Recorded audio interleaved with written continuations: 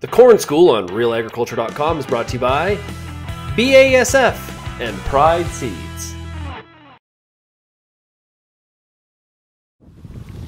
This is Ken Currah, Market Development Agronomist for Pride Seeds. It's early June and we're in one of our Pride 300 bushel initiative fields near London, Ontario. We've just received a couple inches of rain over the last three or four days. Uh, still a little bit wet in here, but it was much needed rain and has really spruced up this particular crop. And uh, really happy with what we're seeing here. Uh, of interest to me in this field is uh, this cooperator participated in the project last year. You'll be able to pick up through the course of uh, through the course of our presentation here that uh, we're in 20 inch rows and just amazing dirt. Uh, this is this is just fantastic premium stuff here. Um, obviously, looks a little bit dark from the moisture in it from the rain, but this is this is fantastic soil here. Really premium stuff.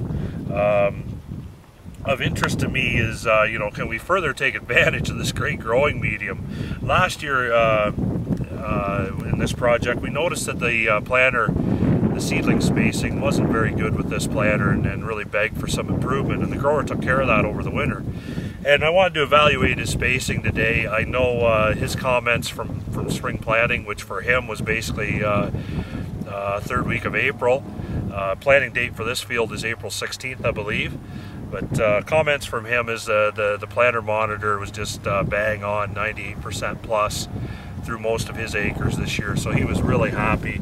And uh, looking at the stand here, yeah, the improvement certainly, uh, it's, it's quite obvious.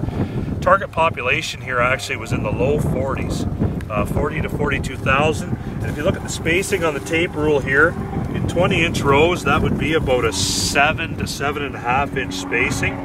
And if you average out these five, six plants, one of which I've dug up here, now that's about what we've achieved, and that's that's pretty good spacing right in through here for the most part. In a 20 inch row, we're going to be very satisfied with that. The other thing I wanted to assess going into the rapid growth stage for this corn crop is root development. And if you look at root development overall, just hold that up like that, get that initial leaf out of the way you know, it's a nice fern of initial roots there and our secondary roots are starting to come. The great indication, those roots are straight down versus last year when we had a wet June, a lot of those secondary roots stayed upright or hit a hard pan basically at the at the bottom of the cultivated layer. You'd see something like that.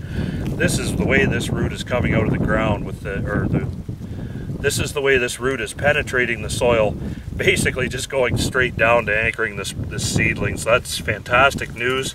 We also noted uh, planting depth when we dug this up and uh, basically running about an inch and a half here, which in this soil is uh, really all you need. It's, it's a virtual garden here. I wouldn't mind seeing it a hair deeper, but I'm satisfied with an inch and a half. It's certainly not holding us back as a yield limiting factor. So I'm uh, pretty impressed right there. There's the, the seed right there, and you can pretty much see the, the dirt layer there. So about an inch and a half.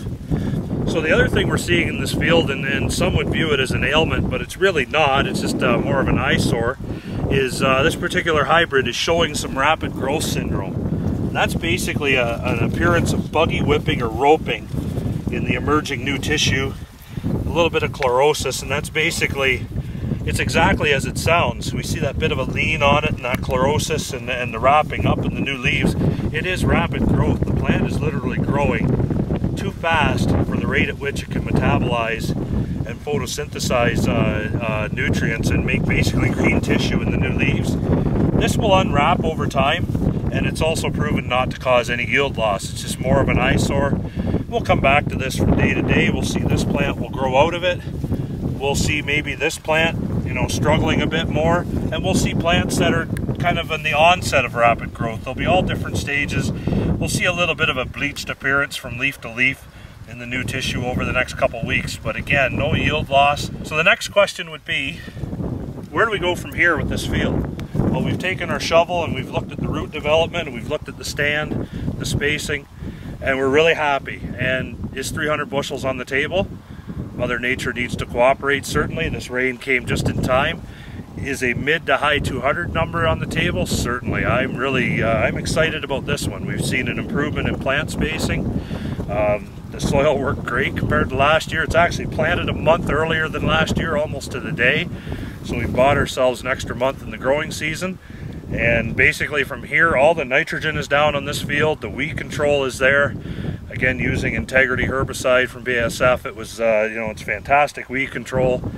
Uh, it's ready to go. Basically, the next step is to put headline on a tassel, keep it healthy till harvest, hope for good pollination weather from Mother Nature, and we'll be on our way to a really nice yield in this farm.